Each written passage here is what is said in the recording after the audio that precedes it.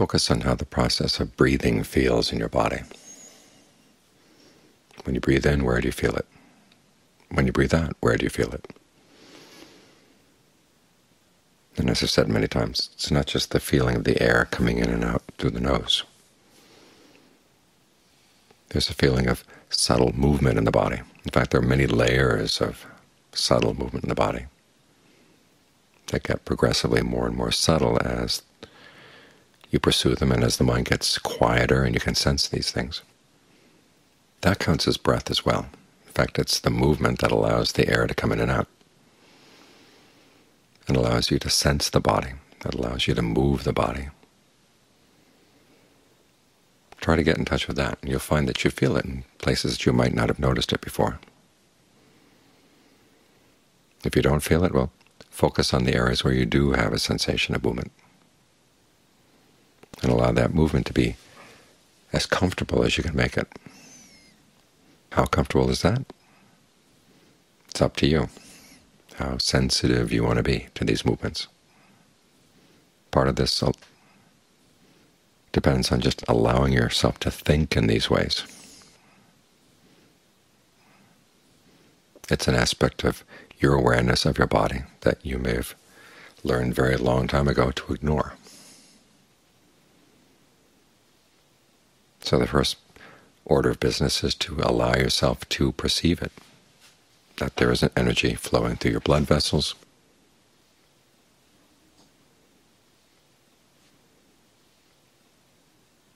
There's an energy flowing in the nerves, in the muscles.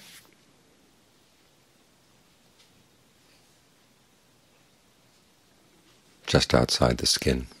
There are many levels of energy here. The more you can make your mind quiet, the more you see the subtle ones. It's like trying to listen to a sound that's far away. You have to make yourself very, very quiet so you can hear it.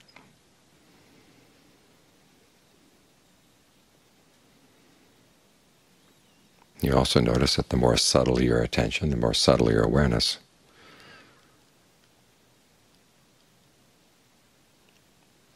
the more the sense of well-being that comes from the breath, or the pleasure that comes from the breath, can seep into areas that used to be hardened inside.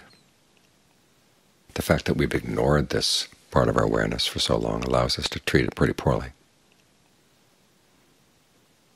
So now that you open up to it, you begin to realize, oh, you've been harsh in the way you breathe or harsh in the way you force energy through the body. Often when we repress or thought or put in a denial, there's going to be a physical side to that repression as well. And over time these things begin to build up. Those parts of the body have learned not to trust you, so it's going to be a while before they open up. So you've got to treat them gently and show some gentleness in the way you deal with the breath energies that you are aware of, that can move, that can have a sense of flow inside the body. And when you treat them with gentleness and the parts of the body that are connected with old buried thoughts will start beginning to trust you, and they may begin opening up.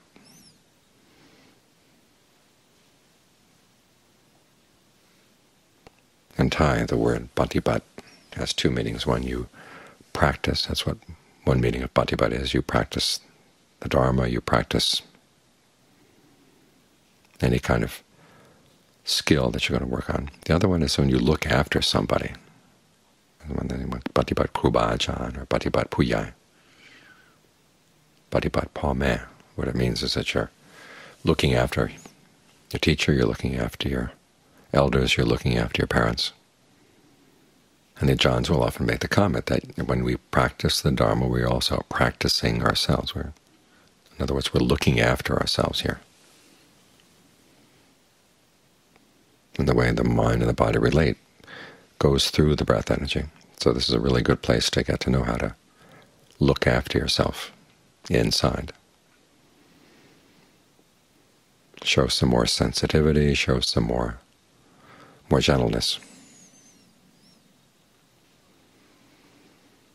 Now the problem is as you begin to get gentler and gentler with yourself, more sensitive to what's going on inside, you begin to notice energies of the people around you. Some of them are beneficial, a lot of them are not. So you have to be like a turtle. Turtles have very sensitive bodies, and so to protect those bodies they have very hard shells. In fact, one of the images in the canon of a practitioner is someone who's like a turtle, sees dangers, and so he pulls his head in, pulls his legs in. The fox tries to come and get the turtle, but the turtle knows the fox is there, so it just stays inside its shell. Doesn't come out. The fox eventually goes away. You need your shell as well. Now the shell here is not one that's going to totally blank out other people. As we were saying earlier, it's like those old commercials for Gardol. It's a clear plastic shell. You see what's going on. It doesn't block your vision, but it does block bad things from coming in.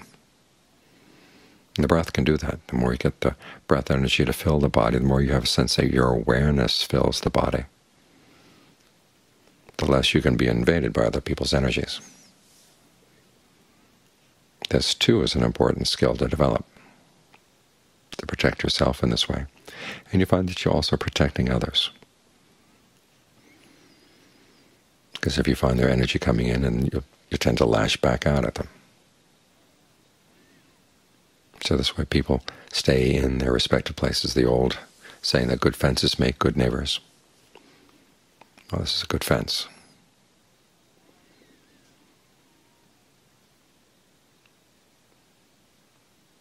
So when you have it around you, you can be talking to people and their words can come at you and their energy can come at you, but you don't take it inside. To make another analogy, it's like you've been using a vacuum cleaner. Every little piece of dirt out there got sucked in.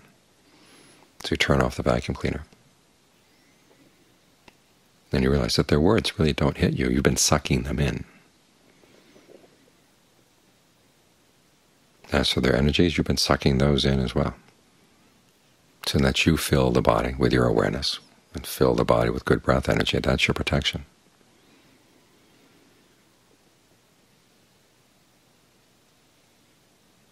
and you can see what they have to say. You can actually sense their energies going around you, which means you know what's going on and you can respond.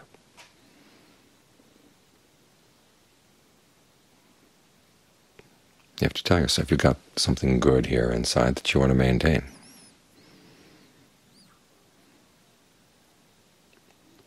And you don't want anything outside to knock you off balance. So you've got to have this sense of protection. There's another analogy in the canon of a man carrying a bowl of oil on his head.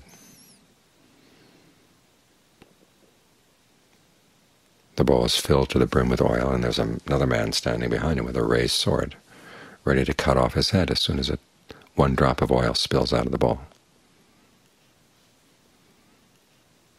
So as the Buddha asked the monks, you know, would that man let himself get distracted outside?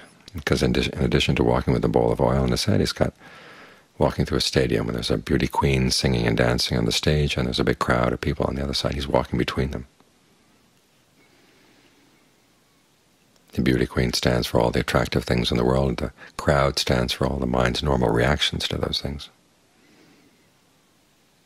You've got to maintain your balance in between those. Can't let yourself get distracted either way. In the same way, you have this sensitive area inside the body. You want to keep it in balance. You want to keep it protected.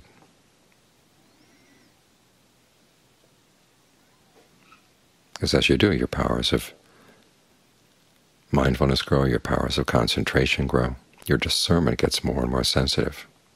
Discernment isn't just a matter of learning words and then applying them to what's going on. It's a matter of sensitivity, noticing what you're doing, and sometimes what you're doing is very subtle and pre-verbal, dealing with the energy in the body.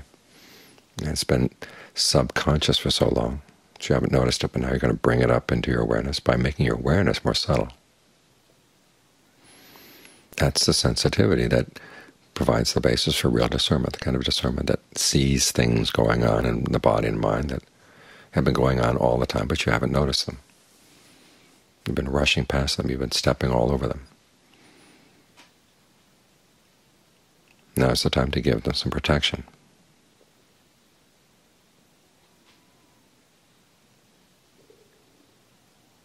Because that way you learn a lot of lessons about the body and the mind, and particularly about the mind, that you can't learn in books.